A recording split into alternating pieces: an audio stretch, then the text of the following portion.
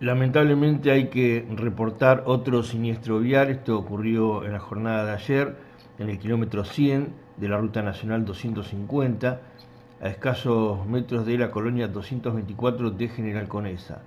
Allí el conductor de un Fiat 1, eh, un señor oriundo de Viedma, mordió la banquina y cuando quiso retomar la cinta asfáltica se cruzó hacia el otro lado, donde terminó en una zona lindera a un desagüe.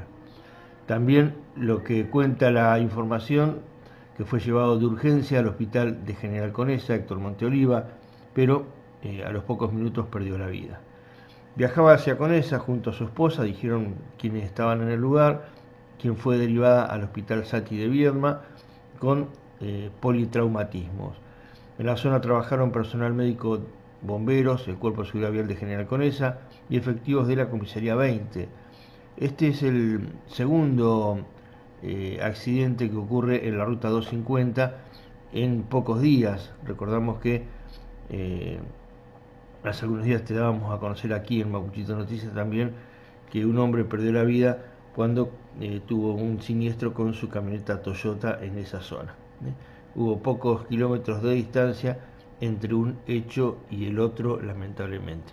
Otro siniestro vial en rutas del territorio rionegrino, en este caso en la 250, y lamentablemente un vecino de nuestra comarca perdió la vida.